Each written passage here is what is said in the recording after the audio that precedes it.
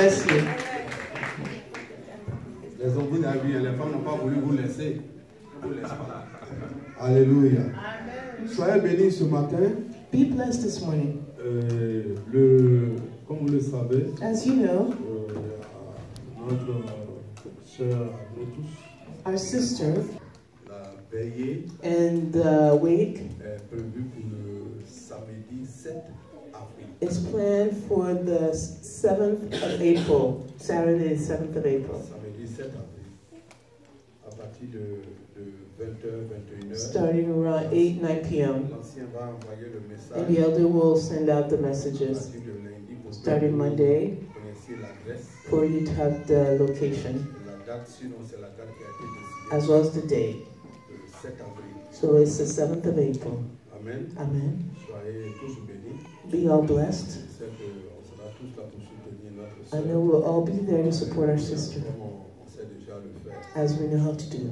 Euh, aussi, je voudrais Also, I'd like qu'on se rappelle que le premier dimanche, qui est le 1er avril, for us remember that next, the first Sunday, the 1st of April, dimanche de la Pâque. will be uh, also Passover. Donc, euh, on va, c'est vrai qu'avant que les flyers ne So before even the flyers get distributed, euh, il y aura la nourriture.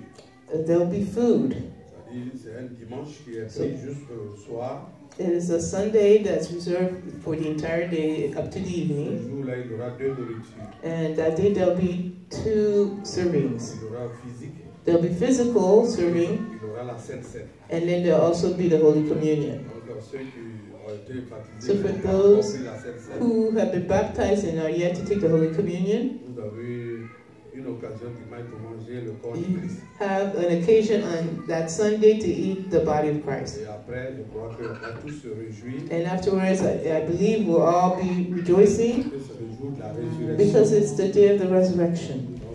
Euh, So let us prepare pouvoir faire de ce jour-là to make of that day vraiment une grande fête. a true and great celebration. C'est vrai qu'il y a eu des moments difficiles. It's true we've gone through difficult times, devons montrer à l'ennemi que nous but we must show the enemy that we are standing still. Amen. Amen. Je veux encore vous remercier. And I, I want to thank you again. Remercier chacun de vous Thank each one of you pour l'effort for your efforts que vous faites. that you do.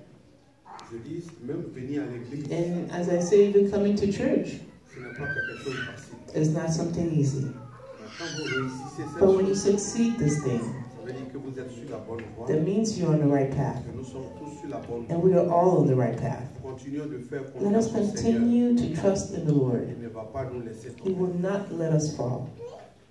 Il y a- Aujourd'hui, il y a eu des témoignages. Today there were testimonies, Et je suis and I'm sure that more testimonies are to come. Il y a de grands témoignages. qui There's arrivent. some big testimonies to come. There were moments of tears, but times, moments of joys are coming. So I want to encourage each one of you for us to continue to call if we notice that we have a brother, qui ne peuvent pas venir, brothers that cannot come, nous devons les constater. we must notice them. Je voudrais bénir la vie de notre sœur And I'd like to bless the life of our sister Essence. Quand elle est rentrée ce matin, When she arrived this morning, j'ai dit à maman Azali, I said, Mother Azani, pas possible. Je disais, it's not possible. I was saying in the car that if I don't see her today, I don't know why. But this week, I have to go pourquoi tu viens pas see her and find out. oh, oh, uh, Did you tease us?